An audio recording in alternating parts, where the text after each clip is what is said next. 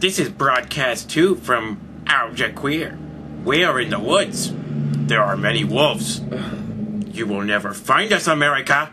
You will never find us, George Bush. And we have a new hostage. Say hello. He'll get it. Or if you don't pull the troops out, we will kill him. Like that.